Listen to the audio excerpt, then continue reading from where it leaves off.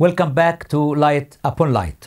We were talking in the first part about the letter which Prophet Sulaiman gave the hoopoe to deliver to the Queen of Sheba. When the letter was delivered, the Queen opened the letter and she said to her council, O my council, I have received an honorable letter, a letter worthy of respect. It is from Sulaiman, signed Sulaiman, and it starts with Bismillah ar-Rahman ar-Rahim. Do not be arrogant against me and submit yourself to the true religion. Then she consulted with her chiefs. Please advise me. I do not decide anything without consultation with you. This shows you that this woman had great qualities because she was not like the Pharaoh who all the time only did what he thought was right without consultation with anyone else. The answer of her people was We are endued with strength, we are so powerful, we have a lot of might, and you have the right to decide whatever you want to do. She said, Unfortunately, when the kings enter any village, they destroy it and they humiliate the noblest people in it. So, what I'm suggesting of doing is to send him a present. If he is a king, he will accept the present, then we will fight him. But if he is a real messenger, a prophet, then he will not accept the present. And this means we may have to join his religion. Very wise woman. So the ambassadors arrived to the palace of Sulaiman and they brought so many gifts. Sulaiman was so angry. He said, Atumidunani bimal? Do you bribe me with money and gifts? What Allah has given me is better than your gifts. You rejoice for your gifts. I do not. Go back. Tell them, I'm going to send an army which they will never be able to face. Then he looked around to his the members of his council and he said, Who can bring her throne here before they submit themselves to me in Islam? Now the members of the council were a man, human being, and a genie, min al jinn, a big genie. So the genie said, I can bring it here before this council meeting is over. But the man, the human being, who been given certain knowledge from Allah subhanahu wa ta'ala, said to Sulaiman, I bring it here before you blink. So the throne was brought in front of Sulaiman alayhi salatu wasalam at the speed of light. And no change happened to it at all. Sulaiman was aware that when the ambassadors will go back, they will tell the queen what Sulaiman said about sending an army. He knew that she is going to come because she was a very wise woman. So she is going to start negotiations with Sulaiman, a dialogue.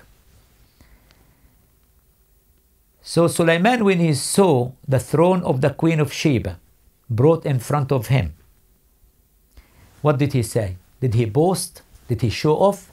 Was he arrogant? No. He said, My goodness, this is by the grace of my Lord to test me whether I am grateful or ungrateful.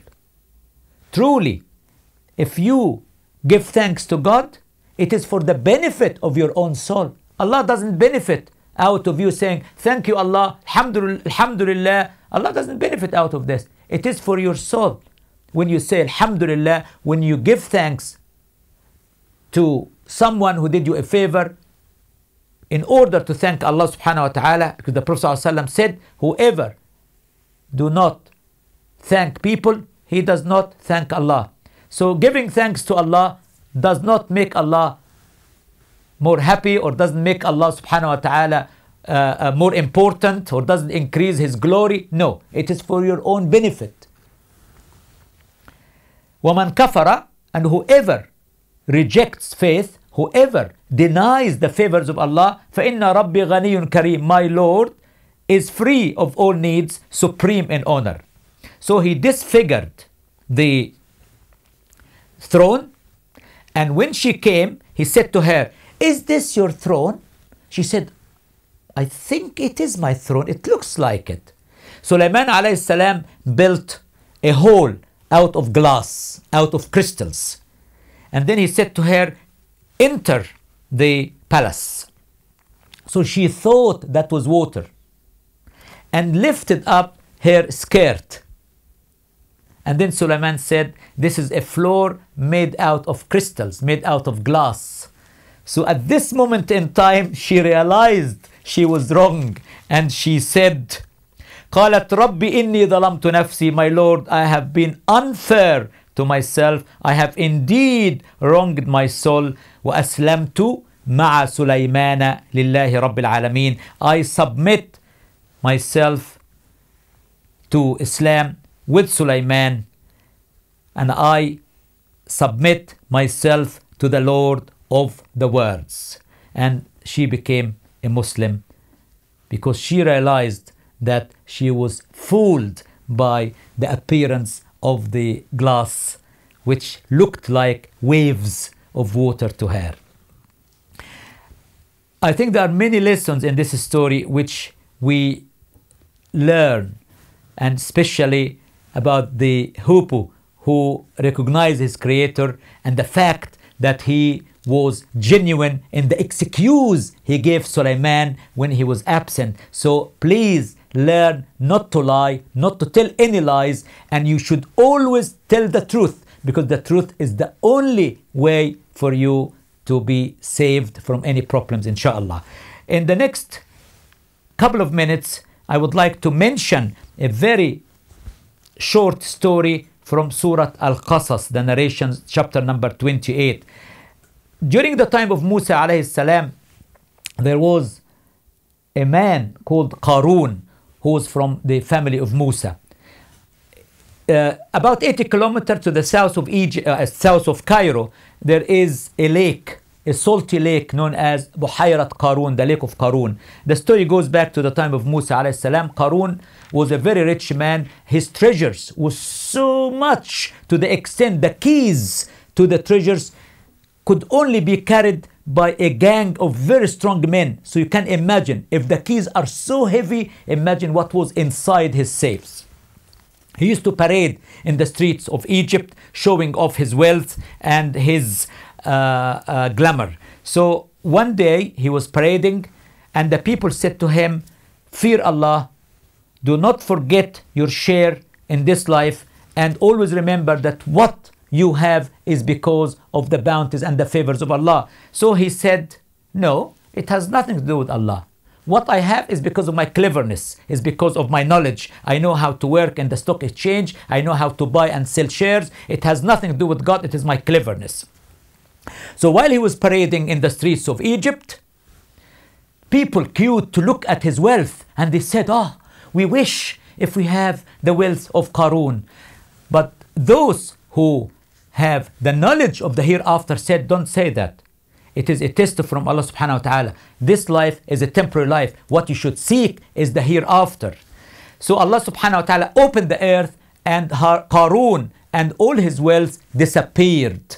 So his house, his wealth, himself, they all disappeared. So the people who wished the day before that they would have loved to be as rich as Qarun, they said, Oh, thank God.